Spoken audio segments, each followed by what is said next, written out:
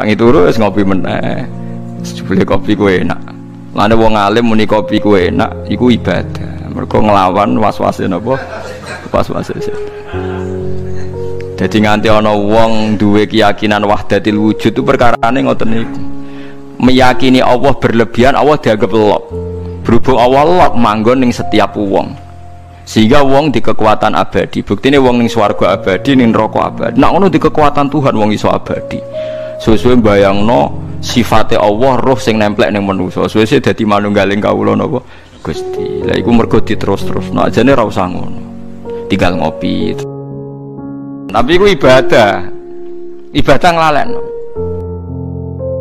Jadi nganti ono aliran wahdatil wujud, manunggaling kawula Gusti wong kesuwen GR gede rumangsa parek pangeran. Terus pangeran dianggap bersemayam di dirinya masing masing-masing. Akhirnya duwe keyakinan manunggaling kawula napa Gusti disebut wahdatil apa Bu?